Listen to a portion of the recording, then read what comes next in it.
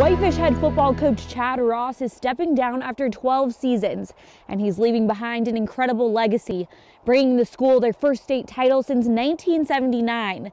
But right now, it's not wins and losses he's thinking about, it's relationships.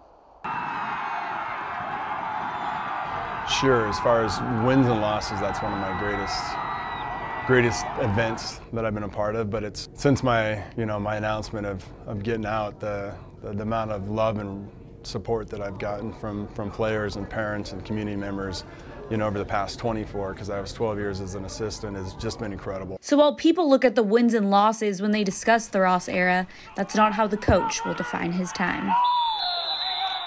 People outside of coaching don't understand how, how much time we spend with them, so it's truly an honor just to watch them grow and mature. I mean, there's so much more to life than, than just the, the record books.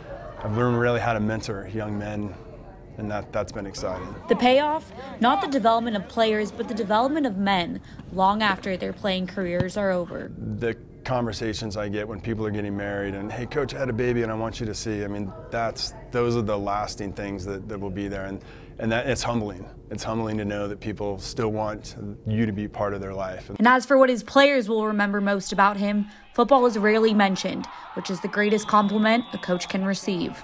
At the state championship, I mean, stuff like that. I think that his wins definitely set, I don't know, a high bar for him. But at the same time, I think it's just everyone loves him. Everyone loves him as a coach, and I think that everyone appreciates that. Reporting in Whitefish, Alexa Belcastro, MTN Sports.